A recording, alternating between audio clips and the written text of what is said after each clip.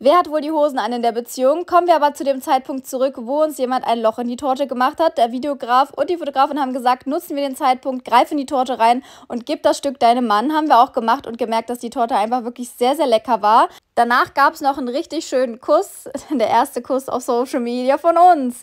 Dann nochmal zu dem Zeitpunkt zurück, wer die Hosen anhat. Ich hatte meine Hand oben. Ob das jetzt was bedeutet, keine Ahnung, aber das bedeutet, dass ich anscheinend die Hosen anhabe. Sagen wir mal so, er hat es nicht gecheckt und dann hatten wir noch voll die Probleme, wie wir unsere Hände machen sollen, während wir uns das Kuchenstück in den Mund geben. Irgendwie hat er dann auch nicht mehr aufgehört und mir ein Kuchenstück nach dem anderen in den Mund geschoben. Er war wirklich lecker, der Kuchen, aber irgendwann konnte ich nicht mehr und dann durften die Gäste ran.